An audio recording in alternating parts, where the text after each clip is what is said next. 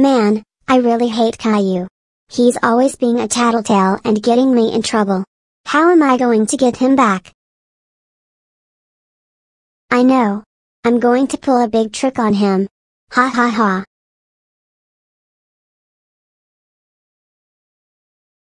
HM, I wonder what I should do today. Duh. What's this? A message from Classic Caillou.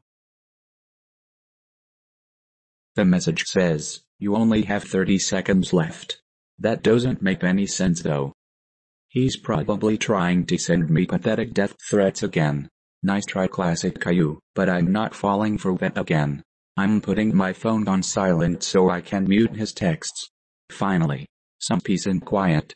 I guess this is something I could do to pass time. Duh. What's that noise outside? Crap. What was that? No. Kano? My baby boy. Why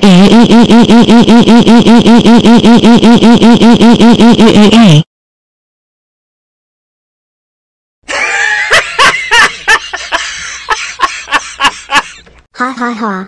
Take that Caillou. Um, Mom? Are you good?